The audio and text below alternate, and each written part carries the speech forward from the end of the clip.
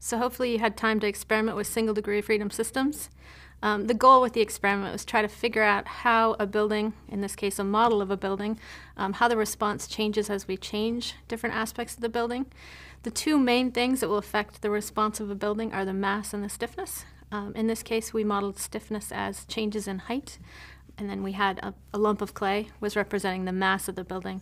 Um, so what happened? Let's, let's see if we can experiment and see what happened. So let's look at first both these, these columns have different heights, but approximately the same mass. And I'm going to see how they want to oscillate. Okay, so that's our first one. And then our question is, if we increase this, increase the height, in this case that's decreasing the stiffness, what's going to happen to the response?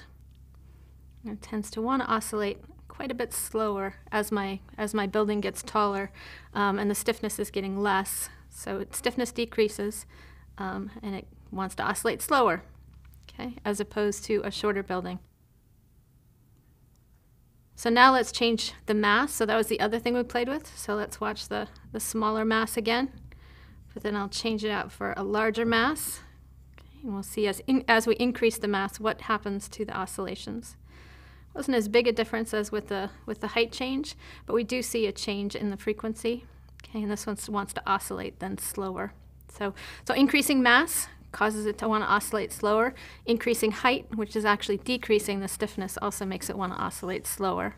There's an equation that rep to represent this. So engineers use an equation for something called natural frequency. Um, the equation is the square root of uh, stiffness over mass, and that gives us the natural frequency of a building. We derive that equation using differential equations. Um, that part's not that important, except that it tells us, it kind of confirms our findings. So um, stiffness is in the numerator. So as stiffness decreases, oscillation or frequency decreases. Um, and mass is in the denominator. So as mass increases, we, we slow down the oscillations as well. Okay. Um, so buildings, what this tells us is that buildings have a certain natural frequency at which they want to respond, and that's something engineers will calculate. So they'll use the equation to figure out what they expect the natural frequency to be of the building. Um, and they'll know that shorter buildings tend to oscillate faster than taller ones. Um, and then they'll try to relate that to earthquakes. So one way that we do that is we apply horizontal forces to our buildings, um, but we also will, will simulate earthquakes. So in an earthquake, what happens is the ground moves.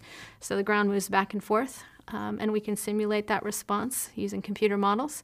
Um, but as I shake, I'm not going to do it right now, but if I were to shake the base of my, of my system, and let's go back to having the masses the same. Okay. Which of these two buildings do you think um, is going to be most affected by the earthquake. So I'm going to generate an earthquake by shaking the base, and I want you to predict is the shorter building or the taller building going to be most affected by that response.